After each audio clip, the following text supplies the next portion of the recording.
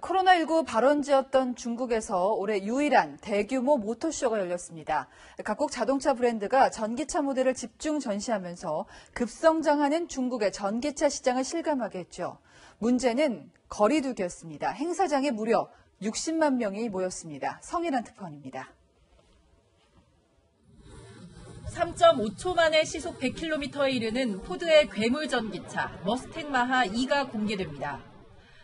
It is an innovator in Mustang camp, paving the way for a new era of electrification of Ford. 포르쉐도 이에 질세라 최초 100% 전기 스포츠카를, BMW도 첫 전기 SUV를 선보였습니다. 미국과 유럽이 경기 침체로 자동차 판매가 부진한 사이 중국 홀로 회복세를 보이자 각국 주요 브랜드들이 프리미엄 전기차를 앞다퉈 출시하고 있는 겁니다.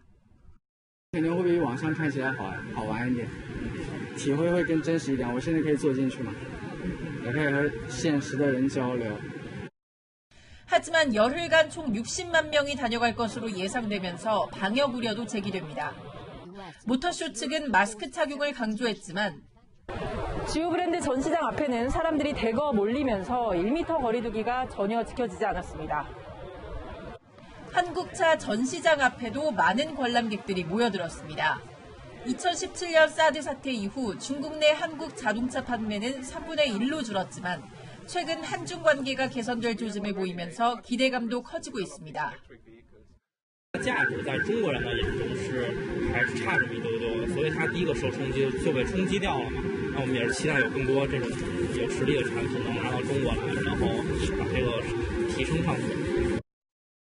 현대차는 신형 투싼과 7세대 중국형 아반떼를 내놨고 기아차도 신형 카니발과 K5를 통해 중국 Z세대의 눈길을 사로잡겠다는 전략입니다.